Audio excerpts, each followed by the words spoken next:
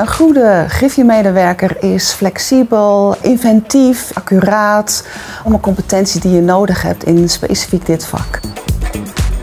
De taken van de Statengriffie binnen de provincie Flevoland zijn heel divers. Uiteraard ondersteunen we de statenleden. We geven advies. We zorgen ervoor dat alle stukken gereed zijn voor besluitvorming. Wat ik zelf het leukste vind aan de rol als commissiegriffier is dat je echt de regisseur bent van de vergadering. Het begint eigenlijk al ver voordat de vergadering überhaupt plaatsvindt, dat je met stukken bezig bent, maar ook alle deelnemers aan de bespreking, uh, zo in positie te brengen dat iedereen goed voorbereid naar de vergadering gaat.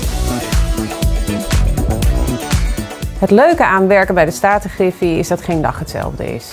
Je weet ochtends werkelijk niet wat je s'avonds gaat meemaken. En ik zeg niet voor niks s'avonds, want op woensdagavond kan het laat worden. En als het dan toch allemaal lukt, het is bijna topsport zo'n dag, dan ben ik trots. Ik wil de vergadering van de Staten van Flevoland openen. Dat doe ik bij deze. Ik heet u van harte welkom. Als je werkt bij een griffie, dan heb je echt een meerwaarde voor de democratie. Dan sta je echt actief aan bij te dragen. En in die democratie kom je ook heel veel verschillende mensen tegen. Dus heel veel verschillende soorten mensen en inwoners, maar ook statenleden. En dat vind ik heel leuk. Als je binnen ons Griffie-team werkt, dan is het soms best wel hard werken. De dagen zijn druk uh, en soms ook lang en dat vraagt best wel wat van je.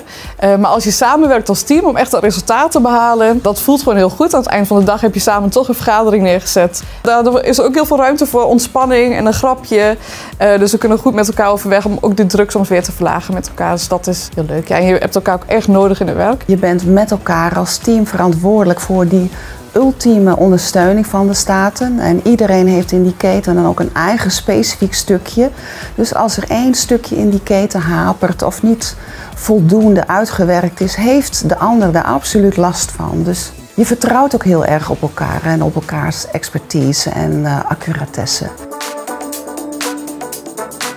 Waarom zou je bij de Griffie willen werken? Ja, je levert een bijdrage aan de democratie, aan uh, besluitvorming, aan onze rechtsstaat. Het, het, is gewoon een hele leuke, ontzettend eh, leerzame werkomgeving. Er is geen dag hetzelfde. Het, er gebeurt heel veel. Je moet soms ook echt lef hebben. Ook durf een andere houding aan te nemen. En soms ook misschien je eigen hoofd op het hakblok te leggen. Maar echt ergens in geloven. En dat vind ik zelf ontzettend leuk en dat geeft je werk.